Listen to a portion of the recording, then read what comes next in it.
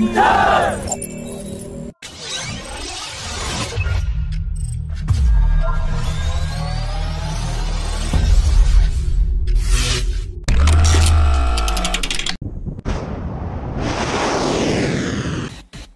the delay in the indigenous Nirbhay cruise missile program, the Indian Navy is looking at the French-made naval cruise missile as a promising alternative.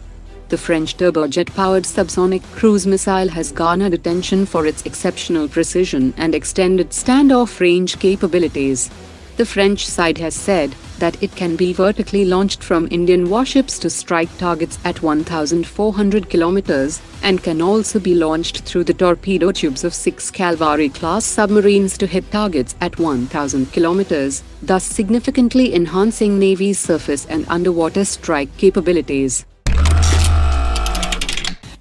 India is planning to develop a floating sea-based radar system as part of its ballistic missile defense program that can detect and track enemy ballistic missiles and also differentiate between warheads and decoys.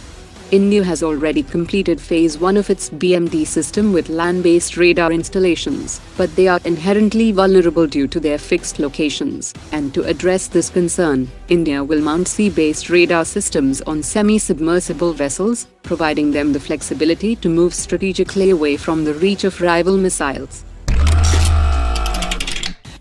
The Vice President Business Development for Boeing Defense has said that following the defeat of FA-18 in the Indian Navy contest for 26 carrier-based fighters, Boeing is likely to cease production of the FA-18 in 2025. Securing the Indian Navy order would have enabled Boeing to continue FA-18 manufacturing activities until 2027.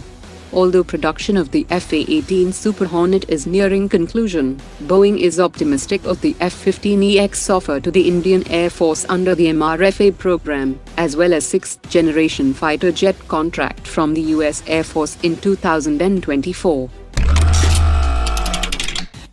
French firm Safran and India's gas turbine research establishment will soon work out formalities for the joint venture that aims to create an advanced 120 kN engine for the AMCA program. India is expected to make a significant commitment to procure 400 engines to ensure that economies of scale are achieved and the cost of each unit remains proportionate to approximately 30% of the AMCA overall value, and this engine will also find its application in twin-engine deck-based fighter jets. India is set to gain approximately 80% transfer of technology in the initial phase itself, and India and France will jointly hold the intellectual property rights, and India will also retain full control over export permissions. The DRDO is all set to start initial phase of the Netra Mark II program that will include conducting sensor trials on DRDO's Airbus A319 flying test bed aircraft from early next year. Following successful trials, Airbus will conduct modification of the 6X Air India A321 aircraft that will be integrated with larger and more sophisticated radar and sensor suites, and it is expected that the first Netra Mark II aircraft will conduct its first flight by 2026.